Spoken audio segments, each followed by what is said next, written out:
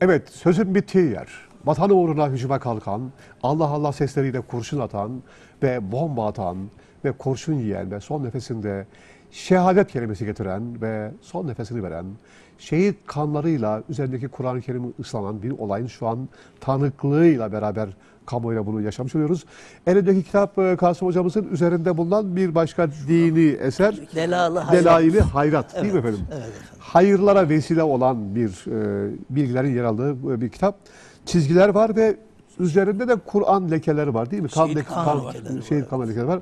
Evet iki kitap var. Kur'an-ı Kerim ve açıklaması. İlaveten bir başka dini eser var. Delail-i Hayrat ve e, üzerindeki efendim e, kılıç veya kama ona benzer bir alet var ve geriye kalan bir İslam madalyası var.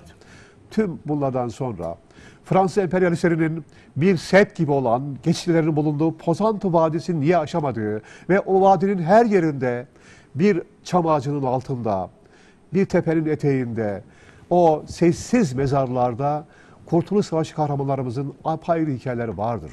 Kalisal'da, Feke'de, Sayınbeyli'de, Kamışlı'da, Pozantı'da, Kadirli'de, Andırın'da, Maraş'ta, Anadolu coğrafyasının hemen her yerinde Kasım Hoca ve onun gibi kahramanlar sayesinde Türkiye Devleti bağımsızlığını koruyabildi ve bayrağımız dalgalandı. Ne mutlu o insanlara, ne mutlu Kasım Hoca'nın mirasına sahip çıkan ve onu savunan torununa diyelim. Sami Bey, Çok teşekkür diyeceğiniz bir şey var mı efendim? Efendim e, Koza TV'ye ve Cenk, e, hocam sizde e, Yusuf hocama çok teşekkür ediyoruz. Bize bu fırsatı, bu imkanı sağladıkları için. Bu kitabın basımında Pozantı Belediyesi e, Mustafa Çaybey'e de buradan teşekkürlerimi e, iletiyorum.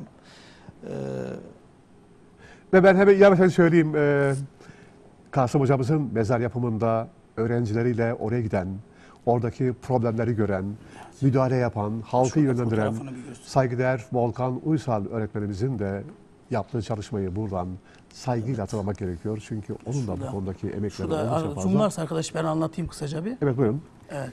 Şu fotoğrafı zoomlayabilirsen. Evet. Evet buradaki gördüğümüz olduğunuz fotoğrafta Kasım Hoca'nın e, mezarının eski hali. Ben yazmış olduğum Çukurova Kahramanları ve diğer kitaplarımda Kasım Hoca'dan bahsetmiştim. Pozant'ta görev yapan Boykal, e, Uysal Ef- Beyefendi bir öğretmen. Orada bir e, kendisi de bir araştırmaya, derin bir araştırmaya giriyor ve Kasım Hoca'nın mezarını soruyor. Ben de Belemelik'te olduğunu söyledim. Kendisi de gidiyor orada Kasım Hoca'nın mezarının e, hiç bakımsız bir halde otların içerisinde olduğunu görüyor. Bunu derhal e, bir proje haline getirmeye çalışıyor. Bunun unutulduğunu, bunun bir hatırasını yaşatılması gerektiğini inanıyor. Ve belediye başkanımıza başvuruyor. E, Mustafa Çay e, beyefendi 29 Mart e, 2009 seçimlerinden hemen sonra ilk göreve geldiğinde ilk talimatnamesini bu mezarın e, bir anıt haline getirilmesi için veriyor. Ve bu mezarın e, anıt haline e, kısa süre içerisinde getiriyorlar ve 25 Mayıs 1900 e, 25 Mayıs 2009 tarihinde de hemen iki ay, bir buçuk ay kadar sonra bu mezarın açılışını gerçekleştiriyorlar. Bu mezarın da yapımında sadece belediye başkanımızın değil, işte oradaki mermerci mermerini karşılıyor İsmail Ergin Bey, yine Aziz Şen Bey, yine Volkan Uysal ve Cemil Çay Bey katkılarda bulunuyor. Kendilerine de buradan bir kez daha teşekkür ediyoruz Sayın Belediye Başkanımıza. Sayın Belediye Başkanımız aynı zamanda bu kitabımızı da yayınladı ve 3000 tane ücretsiz olarak şu ana kadar dağıttı. 3000 tane daha bu önümüzdeki e, Mayıs ayında dağıtmayı düşünüyor.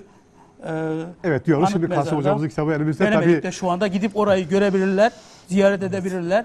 Pozantı'dan hemen 10 kilometre kadar aşağıda Belemedik'te. Evet diyoruz.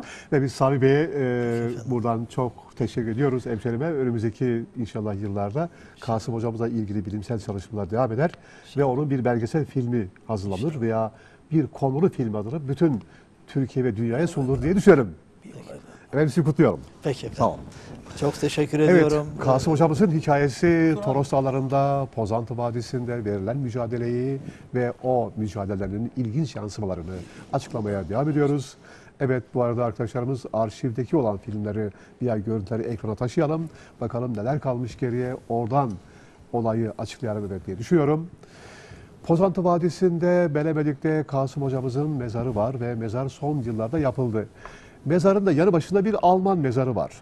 Belemedik Vadisi Osmanlı'nın son döneminde 1890'lı yıllarda başlatılan bir proje kapsamında Berlin, Bosfor, İstanbul, Konya, Toros Dağları, Adana ve buradan Halep Bağdat'a uzanan dünyanın en uzun Avrupa, Asya ve Almanya, Orta Doğu tren yolu güzergahının geçtiği yerde Belemedik Vadisi'nde Almanlar bir büyük kent kurdular. Bir inşaat kenti Belemedik'te.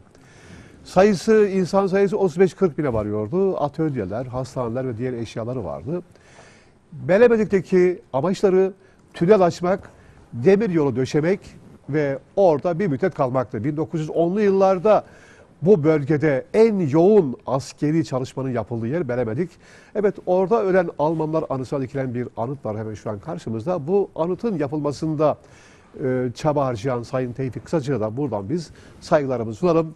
Evet Almanların Belemedik'teki anıt resmini şu an görüyorsunuz. Hemen karşımızda bir tarihi eser olarak bir olayı bize hatırlatıyor.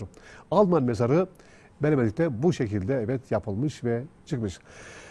Karşımızda Kasım Hoca'nın mezarı üzerindeki yazılar. Sayın Delik Hoca hocam, bu yazılarda özetle neyi anlatıyor? Evet, bu yazılarda özellikle Kasım Hoca'nın mücadelesini anlatıyor. Kasım Hoca e, Pozantı cephesinde e, görev alıyor. Sinan Tekeroğlu Kamışlı'ya geldiğinde ona bir görev veriyor. İHA heyeti başkanı oluyor. Aynı zamanda o bölgeden e, jandarma Ali Sinan Tekeroğlu ile birlikte Hamidiye'den Ali hareket ediyor. Hafız Mustafa Efendi'yi dediğim gibi karakol komutanı yapıyorlar. Ve onlar bir araya gelerek Ulukışla müftüsü Bahattin Efendi'nin öncülüğünde ve aynı zamanda Ömerli'de bulunan yine din alimi Ahmet Efendi ile birlikte örgütleniyorlar. Köyleri geziyorlar. At sırtında vatan ve millet uğruna kılıç kuşanacak insanları örgütlemeye çalışıyorlar.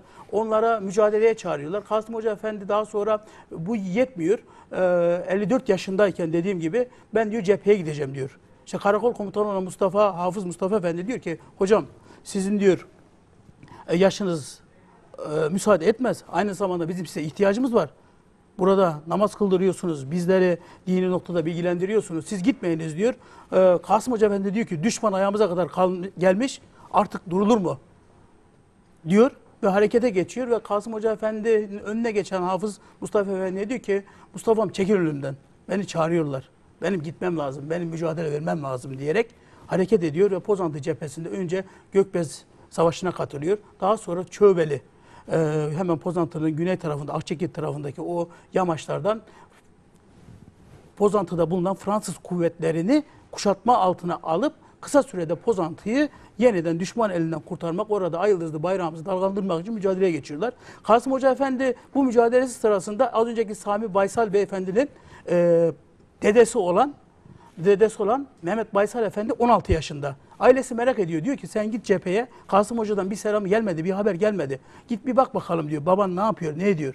Oraya e, Mehmet Efendi gittiğinde şu anda da Mehmet Baysal Efendi'nin ismi zaten e, belediye evlerindeki hemen bu polis e, merkezinin hemen ön tarafında yapılan camiye verildi. Mehmet Baysal Hoca Efendi Cami ismi olarak verildi. Onun e, yaptığı hizmetlere hürmeten onun ismi verilmiş o camiye.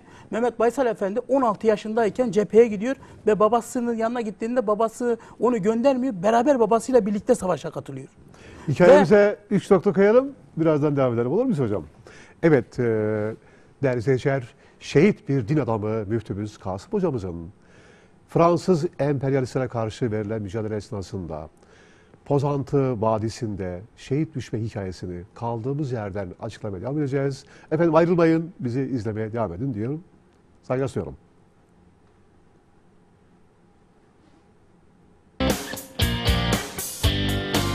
Güzel.